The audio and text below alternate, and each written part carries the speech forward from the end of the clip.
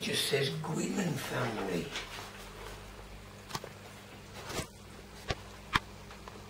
Nothing else. Gwyn hasn't wrote that. I know he hasn't.